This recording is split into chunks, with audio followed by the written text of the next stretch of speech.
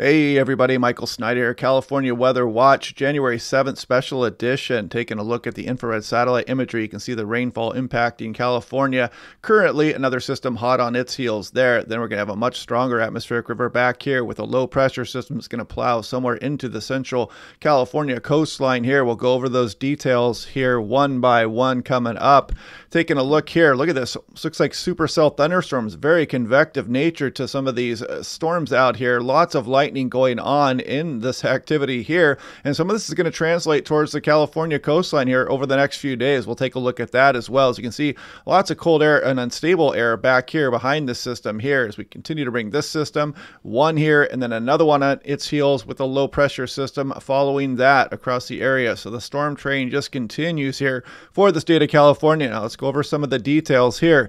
This is the most recent European run as of last night. This is showing lightning flash density potential And it's kind of picking up on that activity as we go through this morning here and brings that towards the Bay Area a bit, mainly the coastal regions here.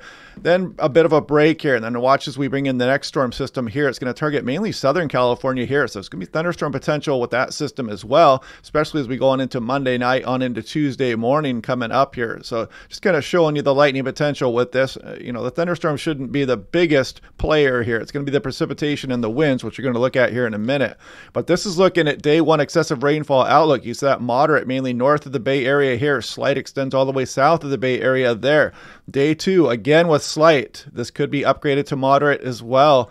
Day three, this is the big one here. This is coming on in through Monday morning, on in through Tuesday here. And some of this may be upgraded to high risk here. I've never actually seen a high risk that I can remember. I haven't been paying attention to this um, product for a long time here, but I can't remember seeing a high risk here. And it may be upgraded here. Pretty dynamic system rolling in here. We're going to go into the details here in a moment. This is also the National Weather Service San Francisco Bay Area highlighting this threat as well. They're talking about it. They know it's coming. Hopefully, they're getting the word out to everybody down there across California. Now, taking a look at day four, Southern California is going to be targeted a little bit here too. Some of these systems have been trending a little bit further south and bringing a strong atmospheric river all the way down through Southern California, including the Los Angeles metro here, and even bringing precip down towards San Diego. And you guys know what that means if you live down there for the higher terrain. Huge precipitation amounts, landslides, all kinds of threats would be associated with this. This is day five. Again, that slight risk hanging out for the Los Angeles metro here up towards Santa Barbara. So heads up there. Now, this is Los Angeles National Weather Service talking about light rain this weekend. Strong storm Monday through Tuesday. So they are aware of it. And look at these huge rainfall amounts for the higher terrain here. Even the coastline and the valleys, two to four inches of precip coming. So pretty dynamic storm all the way down through the Los Angeles metro is coming up here. Now, this is the river forecast here. So just a heads up. This is showing Sacramento, the Bay Area here. And you can see a lot of these rivers getting in towards flood stage and the monitor stage as well. So heads up, pay attention to your local authorities out there. National Weather Service heed all evacuation warnings out there, especially through the day Monday and Tuesday. You need to be prepared as this atmospheric river is really going to come in here like a hammer. Now, taking a look at the science behind atmospheric rivers, a good a graphic here from the National Weather Service Sacramento, I believe it is, but it kind of shows California what they're up against here, especially as you get into the higher terrain there. This atmospheric river just burrows into these mountains here and really gets wrung out and dries out by the time it gets to the east side here, but it drops tons of moisture over the state of California here. And you can see how they talk about how wide they usually are, and ARs move with the weather and are present somewhere on Earth at any given time, like I've pointed out in the last few days there. And on average, just about 30 to 50% of annual precipitation on the west west coast of California here, but it's due to atmospheric rivers. In some years, you don't get much out here, and that's why you go through these periods of drought. Now, taking a look here, cross section here, atmospheric river. These are only about 9, 10, 11, 12,000 feet tall. So when these move into terrain, they really drop huge amounts of precipitation. And that's why they don't, that's why the big rain shadow effect occurs in the Sierra Nevada as you go on in towards Nevada here. So you can see this maybe 10, 12,000 feet tall here, just this low lying monster river of moisture slamming in. You'd be looking from um, east to west if you were looking out of the Pacific Ocean towards California here at the cross section here of the, of the um, uh, atmospheric river. Now taking a look at this. So this is the GFS. These, this is the system out here currently right now. I'm going to strain this precipitation in here. And we start to bring stronger uh, precipitation into the California coastline here. This would be the stronger atmospheric river here. So it's going to be raining, heavy rains across central California up towards the Bay Area as well. Strong low pressure system looks like it's going to make impact here across San Francisco. Very powerful winds on the south side of this low pressure here.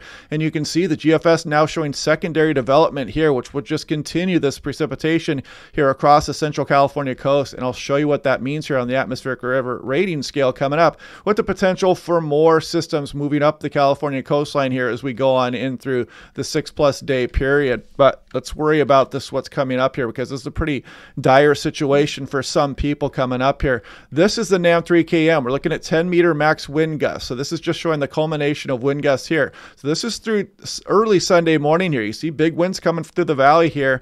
Let's back up a little bit. We'll try to highlight some of these. This is coming in Saturday night, Sacramento Valley here. Check that out. Even the Bay Area is going to get really gusty as we go through this afternoon and tonight here. But now watch this next system roll in here. Look at some of these wind speeds along the coastline, up over 70 miles per hour possible. San Fran could be gusting up towards 60 miles per hour again. Look at some of the higher terrain, really big gusts.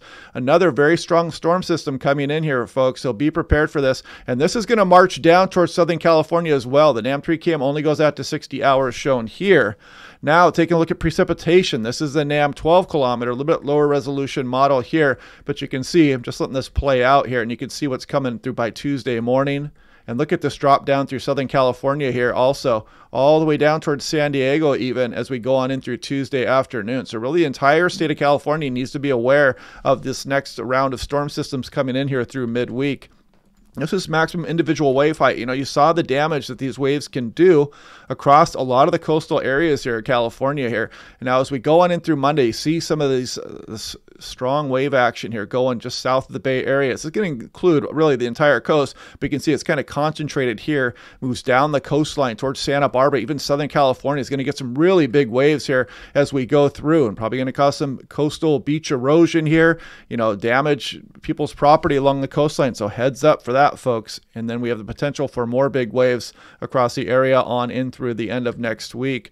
Now, look at this across, this is south of the Bay Area here. Look at this extreme atmospheric river prediction here on the GFS. Look at this, just going to get in one after another. And this one is going to be big problems for some people here. Then the potential for more after that. We can see this is an AR5 category rating here. That's as high as it gets here. You're getting to extreme um, conditions there is you're over 48 hours with some pretty good vapor transport. And there's that AR scale shown there. Now, this is looking at it here. So here's the initial system here, that one on its heels. Then the stronger one starts to bear down on the central California coast shown here. And look at this fetch. I mean, you're talking about 6, 12, 18, 24. 30, 36, 42, 48 hours with another system hot on its heels. So there's really going to be some pretty dire impacts here across the state of California. And these are driving down through Southern California at time, including the Los Angeles metro again. So you got to be careful down there. Don't this is not just a Bay Area thing coming up here or a Central California, Northern California co- thing going on here. This is going to drive all the way down through Southern California at times. And going on through the extended a little bit more, you can see continued systems there, but we should probably worry about what's coming up here because this is a pretty dire looking storm here for portions of California. Now, this is looking at current reservoir conditions here. I saw Shasta's gone up a couple notches here the last couple days. That's a good thing. So we're going to replenish some of this as we go. But again, remember, these reservoirs do not catch all this precipitation. These are just small you know, small little areas compared to the large scale of the state here. And there's a lot of area where this rain is falling where the precipitation cannot be caught. So it's going to cause some flooding concerns, but it is a good thing. You need this rain to live. So it's kind of a, you know, a give and take there. Now here's 8 to 14 day outlook here. This was issued yesterday afternoon. Entire state of California pretty much, at least western portions here have flooding potential. Big snows for the Sierra Nevada, high winds possible. And this, well, the high winds is for that January 14th through 18th period, but this would exist for a lot of the California coast if this were showing a, a sooner, you know, if this was covering early on into January, on in through January 10th. But yeah, so the storm train is here, folks. Pay attention to the National Weather Service coming up here. I'm probably coming down to the Bay Area on the morning Monday, and I'll do some live streaming down there and try to cover some of the area here. We'll do some uh, weather briefings and keep people updated and whatnot too. But yeah, watch out for this stuff here. It looks like some lightning is approaching the, or- the uh, California coastline here. These are pretty active here. Kind of kind of interesting. These almost look like supercells out here across the Pacific Ocean. But anyway, you can clearly see the atmospheric rivers back here. Take this seriously if you are in California, especially in the higher terrain on hillsides along the coastal areas. You know, listen to the National Weather Service, watch the briefings here, and I'll probably be down there Monday and I'll do some live streams down there then. So anyway, thanks all my new members, subscribers, clicks, notifications. I may do a live stream tonight or tomorrow. We'll see how that goes and we'll kind of update what's coming here with this storm out over the ocean. So hope you guys are having a good day and I'll talk to you guys later.